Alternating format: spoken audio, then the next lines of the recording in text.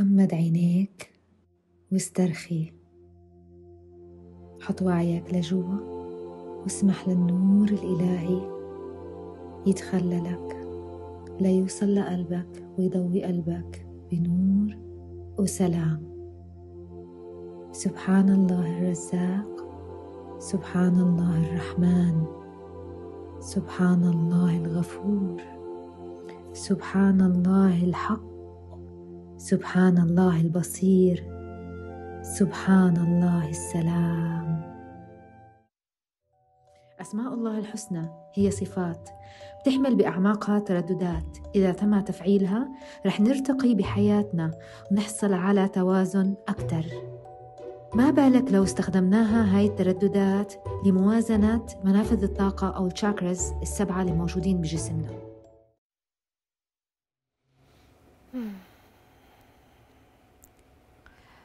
صباحكم مليء بالطاقة الإيجابية. لكل الأشخاص اللي كلمة الطاقة بالنسبة لهم مش مفهومة اليوم رح نوضح بعض الأمور زي ما شفنا بالفيديو أيضا علاقة الطاقة بأسماء الله الحسنى.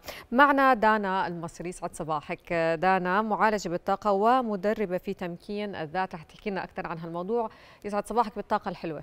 صباح الخير وخاصة اليوم كتير حلو الطقس والشمس بتاخذ العقل.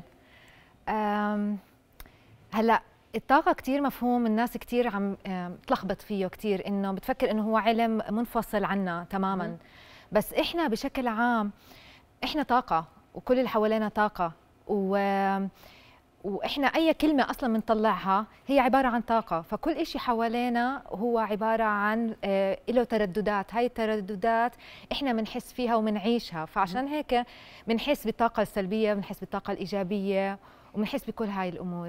في حياتنا نعم دانا يعني النظرية اللي أنت ابتكرتيها فعليا أنت حضرتك ابتكرتي هاي النظرية اللي هي منافذ الطاقة المتعلقة بأسماء بأسماء الله الحسنى ف يعني احكي لنا شوي عن هاي النظرية بتحكي إنه نحن طاقتنا أو منافذ طاقتنا متعلقة بأسماء الله الحسنى yes. فشو هي هاي النظرية؟ أوكي أول شيء بدنا نعرف إيش يعني منافذ طاقة بالجسم نعم. نحن الجسم تبعنا مكون من ثلاث أجسام أصلا يعني إحنا مو بس جسم مادي عضوي يعني إحنا مو بس خلايا واعضام وعضلات وهيك. إحنا بالضبط عبارة عن ثلاث أجسام الجسم العضوي الجسم العاطفي اللي هو المشاعر والأفكار نعم. وعندنا الجسم الطاقي اللي هو المرتبط بطاقة الكون اللي هي الروح. نعم.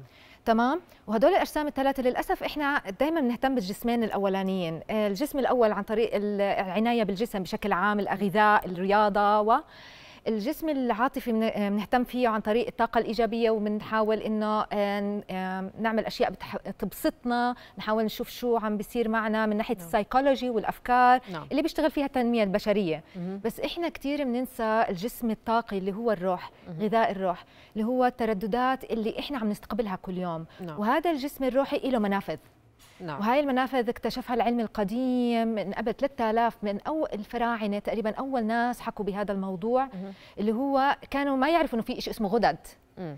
الغدد الصماء بجسمنا هاي نعم. الغدد الصماء هي لها مراكز بجسمنا هم سبع مراكز. هدول المراكز عشان أحكيكم إياها بمختصر نعم آه، هم آه، عندهم energy كتير عالية بتستقبل وبترسل energy energy بنسميها chakras أو منفذ طاقة wheel of light هي عبارة عن دولاب من الضوء نتيجة ال energy اللي كتير عالية لأنه الغدة هي منطقة حيوية بجسمنا. نعم. في عندنا سبع منافذ بالطاقة. المنفذ الأول اللي هو ال root اللي هي منطقة الجذر عند الغدد الكظرية اللي هي الفوق كلوية وهي مسؤولة عن الخوف نعم. والإحساس بالأمان. بعدين عندنا الغدة الثانية اللي هي ال- الغدد التناسلية بجسمنا واللي هي عند منطقة البطن بنسميها العقل الباطن وهي عند اليابانيين وال- والصينيين بسموها الكور أو الهارة نعم. هي محل ما بتخزن كل الطفولة تبعتنا والمشاعر وبيطلع منها الإبداع. بيجي عندنا الشاكرا الثالثة عند البنكرياس اللي هي الإنجاز الثقة واللي هي ال self judgment الحكم على الذات. الحكم على الذات بيجي عندنا القلب عند الغدة الزعترية اللي هي مسؤولة عن الحب العطاء الأمان ومناعة الإنسان مم. نعم بعدين تيجي عنا اللي هون الغدة الدرقية التعبير عن الذات. كيف إحنا بنعبر عن حالنا؟ آه، هل إحنا بنحكي حقيقتنا أو لا؟ مهم. بعدين بيجي عنا الغدة الصنوبريه اللي هي مسؤولة عن العين الثالثة. هاي زي كل حدا نفسه يفتح العين الثالثة وينتقل للعوالم الأخرى ويصير يحاول يشوف شخصيات الناس الثانيين. نعم. بعدين بيجي عنا ال- ال crown أو الغدة النخامية مهم. اللي هي التواصل والتدبر والتعقل بالحياة وأسئلة الوجود وهل أنا هون موجود لسبب أو لا؟ نعم, نعم. فهذه كتير مربوطة ب لما أنا عملت دراسات كتير عالية آه، درست أسماء الله الحسنى. بشكل كتير مو آه، يعني معمق لأنه لقيت إنه كل اسم هو مش اسم هو صفة. نعم. أوكي وإلها تردد معين. وهي الصفة لما ربطت معاني أسماء الله الحسنى وتردداتها. بنفس ترددات الشاكرات تبعتنا أو منافذ الطاقة تبعتنا فلقيت وص... في ارتباط كتير نعم. كبير حلو. كيف بدنا نفعلها؟ يعني كيف بدنا نطبق إنه منافذ الطاقة اللي حكيتي عنها أو مراكز الطاقة مع أسماء الله الحسنى يعني بشكل يومي وعملي؟ كتير سؤال حلو وكتير مهم لأنه آه، هلأ حلو الواحد يعرف عنهم. أول شيء حلو نعرف شو معاني الأسماء أصلا.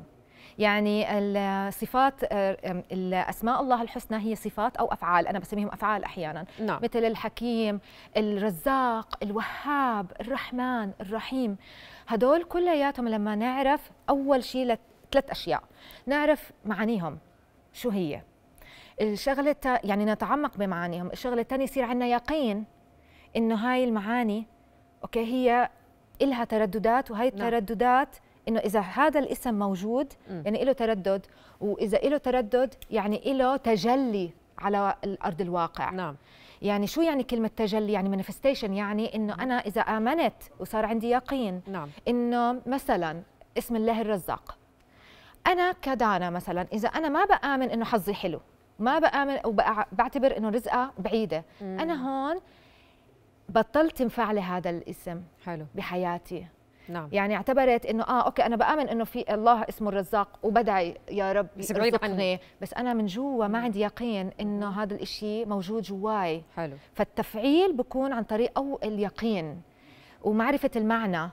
والشغلة الثالثة إنه نردد هذا الاسم كثير بحياتنا. حتى عقلنا الباطن يبلش إيش؟ آه، يربط. الاسم بالفعل. نعم.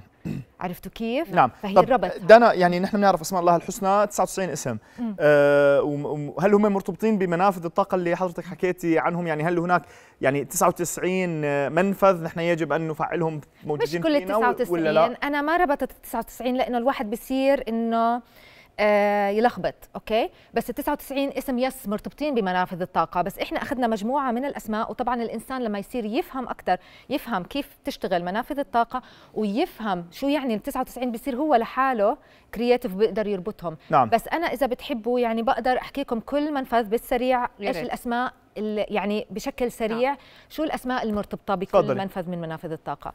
أول منفذ اللي هو حكينا عنه منفذ ال- الروت تشاكرا نعم. اللي هي الأمان ال- اليقين انه كل عدم التحكم بالمستقبل نعم. عدم الخوف من المستقبل آه، ال- الصراع الوجود اللي هو الأساسيات آه، تكوين الأساسيات تبعت الحياة تبعتنا. فاسم الله الرزاق الوهاب الحافظ. فلما إحنا نحط إيدنا على منطقة ال root اللي هي آخر الظهر من ورا.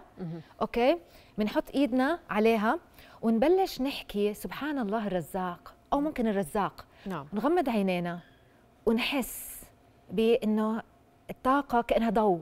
عم بفوت على هذا المحل طبعا هذا مش لح... ما لحاله ما بيزبط. لازم كمان يكون عندنا يقين ونبلش نفعل هذا الاسم بس بحياتنا. هو دانا هي مش مش أفعال physical يعني عم بحكي إنه نجرب هاي الأفعال physical قد ما هي إيمان. إيمان يعني هي يعني هي. الفكرة كلها تدور في الآخر حول الإيمان يعني إذا الواحد ما عنده أي نوع من أنواع المعرفة بالطاقة ولكن عنده إيمان عالي إيمان في رب العالمين إيمان في المستقبل إيمان بأنه كل شيء بإيد ربنا هذا ال- هذا مفعله already هو بالضبط. يعني هاي هي Yes. ال- ال- النهاية تاعت الأشياء اللي هي الإيمان في النهاية Yes. صح exactly 100% 100% لأنه شوفوا لكم شغلة الإنسان ما في حدا كل شيء مفعل بحياته فالحلو الذكاء بالموضوع انت تشوف وين المحلات اللي فيها block بحياتي. هاي المحلات اللي فيها block بحياتي أشوف مثلا أنا رزقتي الحمد لله ماشية نعم. بس أنا عم بحس حالي إنه عم بحس إنه الدنيا ما فيها لطف. نعم. بحس إنه في ظلم بالحياة. فبروح بتذكر إيش براجع أسماء الله الحسنى. بشوف طيب أنا إذا مو مآمن إنه في لطف إذا أنا عندي هاي ال second chakra اللي هي منطقه الرحمة. نعم. فبروح إيش بعمل؟ بفعل اسم الله اللطيف اسم الله الرحمن اسم الله الحي. نعم نعم. تمام؟ يعني هو. بالضبط اللي عم تحكيه دانا آه، واللي علق عليه هيثم إنه آه، في ناس خلص مؤمنين بربنا مؤمنين إنه القادم رح يكون للخير. ولكن في ناس لما نحكي لهم إنه في طاقة سلبية وطاقة إيجابية بيحكوا لك هذا مش موجود مش حاسين فيه. فأنت اللي عم تحكي لا. امور تطبيقية نجربها بحياتنا اليومية كيف بنقدر نفعل هذه الطاقة طبعا. ونلمس النتيجة. طبعا نعم. طبعا. يعني هي كلياتها عبارة عن إيمان لإنه آه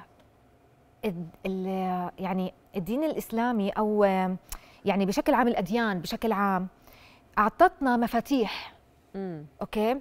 وهاي المفاتيح خل... آه، لإلنا إحنا مهم. عشان تحكي مع الروح تبعتنا نحن. نعم. وهي المفاتيح اللي هي 99 اسم لأنها ب... هاد إذا طلعنا على 99 اسم هدول هم بيشكلوا كل جزء من أجزاء الهوية تبعتنا. نعم. وكل إشي بحياتنا. هم بغطوا كل إشي بحياتنا. فإحنا إذا طلعنا وين المحلات اللي ما فيها بالانس أو ما فيها توازن مم. إحنا هون بنقدر نفعل هذا صح. الاسم عن طريق يا الإيمان المطلق فيها وهذا الإيمان كيف بيجي؟ يا بإيمان اوريدي أنا عندي إياه أو مثلا على سبيل المثال إنه أنا بدي أفعل اسم الله لطيف نعم. أنا أبلش أطبق اللطف بحياتي. نعم. حتى نعم. لو أنا مش مآمنة فيه أبلش أكون لطيفة مع الأشخاص. صحيح. هون كأني إيش عم بعمل؟ عم بفتح بدي أجذب اللي ببحث عنه آه. كمان. بصير ترددي. نعم. بالضبط عم بيمشي ومتوازن مع تردد اسم الله اللطيف صح. اللي بحكي فيها فهي. تقمص يعني تقمص للصفات كثير في من Exactly. في يعني آه، خليني أحكي من المذاهب ال- الدينية ال- المتصوفة نوعا ما آه، كلها يعني تحاول ال- ال- التقليد صفة آه، صفة من صفات الله تعالى أو تقمص صفة من صفات الله تعالى. بحياتنا اليومية لأنه هاي الصفات هي فعليا أبواب الإيمان. يعني هاي الصفات إنه أنا لما أحس برحمة آه، ربنا بحاول إنه أنا أتقمص من هاي الصفة وأكون رحيم. في رحيم في الدنيا. وبالآخر بعتقد هذا هو مغزى الدين. يعني إحنا حديثنا مش ديني ولكن هو يعني آه، تطبيق للحياة. تطبيق في. في الحياة طبعا. يس لأنه إحنا ما زي ما حكيت لك أول القعدة إحنا ما بنقدر نفصل الجسم المادي عن الجسم الروحي عن الجسم العاطفي بس اللي بيصير مع. بعض. اللي بيصير آه، إحنا. بنركز على الجسد باحتياجاته البيولوجية وبنركز على الجسد بالمشاعر وبننسى كيف ممكن نغذي الجهتين ونغذي حياتنا بشكل أفضل. نشكرك دانا مصري يعطيك ألف عافية شكرا لحضورك كثير. أهلا وسهلا